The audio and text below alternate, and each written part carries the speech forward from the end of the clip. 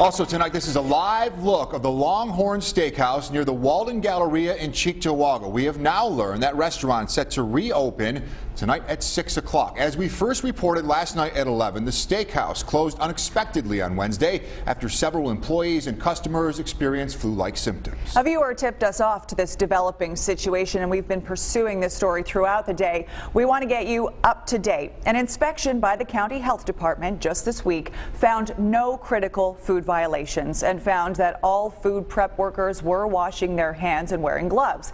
But it did reveal five workers went home sick on Saturday. And employees have called in sick since then. Again, this is a story we broke first on 7 Eyewitness News at 11. Jill Perkins is working on this story tonight, and she's uncovered what may be the source.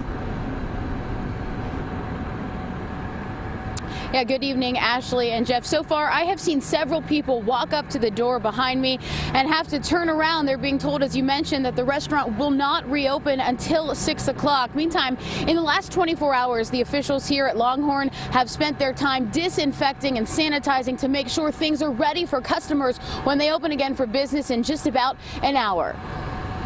Norovirus is what health officials believe caused several Western New Yorkers to get sick. Those people all have one thing in common. They visited this Longhorn Steakhouse restaurant on Walden Avenue in Cheektowaga last weekend. And it's very, very contagious. Erie County Commissioner of Health Dr. Gale Burstein says officials are still looking to track down the source of the contamination. Exposure at the restaurant, it could have been potential exposure outside the restaurant. It could have been that somebody at someone's table had had norovirus and infected somebody, everybody else, um, you know, again, with sharing food or sharing utensils or even just on the same, uh, you know, tabletop. Symptoms of norovirus include diarrhea, vomiting, body aches, and nausea. I spoke with Rich Jeffers, the spokesperson for Darden, which runs the Longhorn chain. He says the restaurant managers became aware of the situation late Tuesday night. He went on to issue this statement, reading, quote, the health and safety of our guests and team members is our top priority, which is why we took the additional step of voluntarily closing our restaurant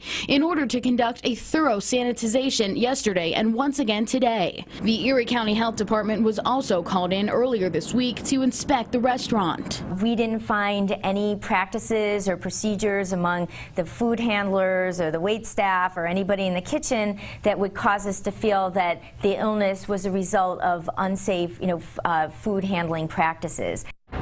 And again, it is still unclear just how many people may have been infected with what officials do believe is norovirus. Several people reached out to 7 Eyewitness News. I'll share some of their stories of just how ill they became coming up at 6 o'clock. For now, reporting live in Cheektowaga, Jill Perkins, 7 Eyewitness News. Thank you, Jill. And Jill also sat down today with a barber from South Buffalo who says he got so sick after eating at this location on Saturday night, he had to close his business down for two days. He was with 15 friends.